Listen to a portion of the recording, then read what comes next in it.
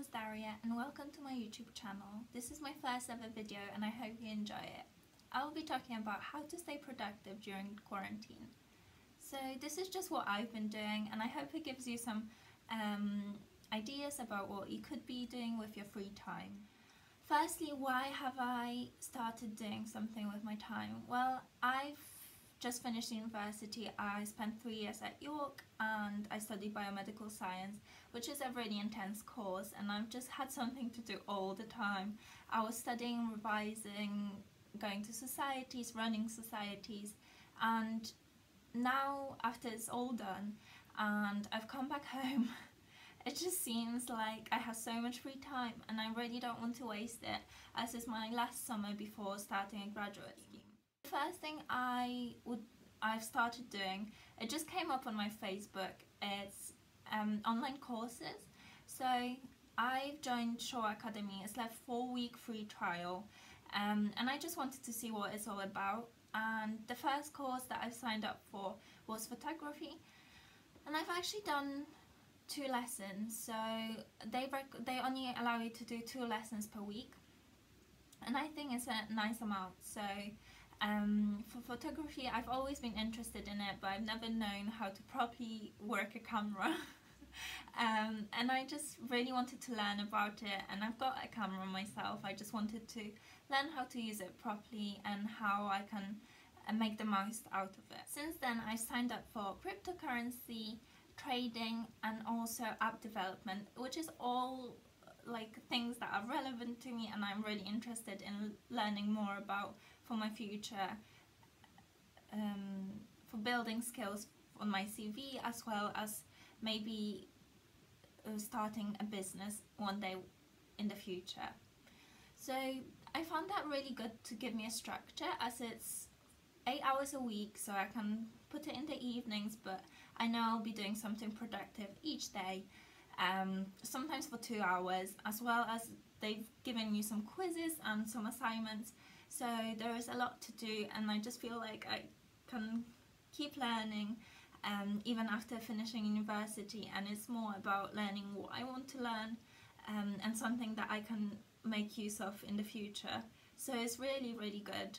Um, I won't get any certification out of it but I just hope to gain the basic skills from all those areas, something I can talk about at interviews and I, yeah I just think it's really good to learn and and other ways you can learn. You don't have to do an online course if that's not your thing. You could start reading a book. There's loads of books everywhere. You can buy them cheaply secondhand from eBay and other websites which sell books secondhand as well as Amazon and um, also audiobooks and listening to podcasts, watching YouTube videos. I've been watching huge, a lot of YouTube videos, so especially on investing, it's a topic that I've not studied, but I know it's important. And you know what? It's just been really useful to find find a platform that I can use. So I've been using Freetrade, um, but it's all I've learned from YouTube and researching and reading. So you can do so much if you just decide a topic or um, an area that you want to expand your knowledge in. You there's just so many resources available, and you you just go find the resources, educate yourself, and then just do it and learn whilst doing it. Another thing I've started doing is actually selling things to make some income.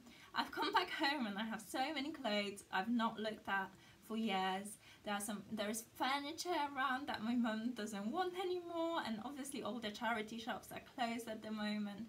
So what have I started doing is listing things on eBay as well as Marketplace. I found Marketplace to be really good and really fast at selling things. Um, so actually I've been able to um, sell some furniture. So Marketplace is really good for furniture.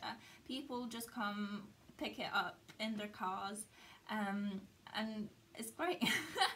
we we get some money so we can reinvest it into things that we actually want rather than things that are just lying there. It's the same with clothes. So I had so many clothes and I still do and I've just been listing new things every day on eBay and then going to the post office and like sending them off and it's just such a good way of reusing your clothes and not throwing it away. Another thing is nurturing your hobbies. I know this sounds so cliche but I've come back home and I realised I've not had time to so I'm I really love um, drawing and like drawing faces and it's just it gives me such joy and since coming back home I've just started doing it so much more and more. There's I had I have so much time and I just realised how much I've missed it how calming I find it and it's so good for my mental health. And I just think now you have time why don't you use that time to become better at your hobbies?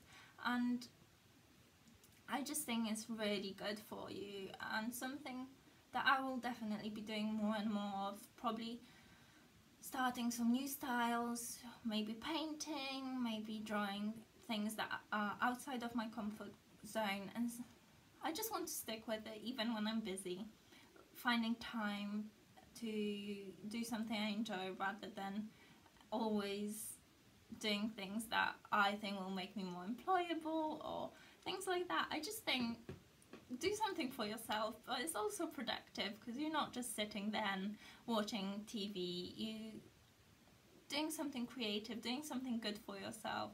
So if you have a hobby go for it. Just just enjoy it and take open your cupboards take your things out and just get in.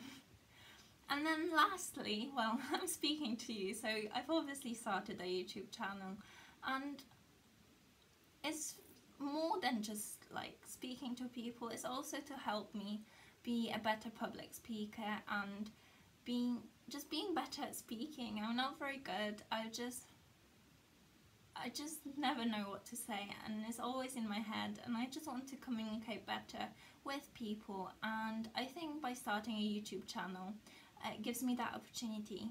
I'm able to think and speak more and communicate and maybe become better at fluently speaking my thoughts and I also hope I can help people out just by giving some ideas uh, what to do with your free time. Uh, another thing that I've been doing is actually tutoring people online.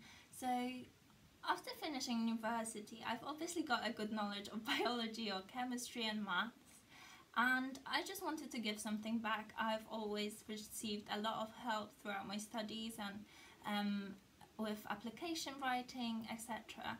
And I wanted to give it back to people and I started tutoring in those subjects and it's really fulfilling and I love just being able to I'm obviously doing it online and I prepare PowerPoints and put exam questions in and it's just really beneficial for the student and also for me to be able to give something back and earn some um, side income.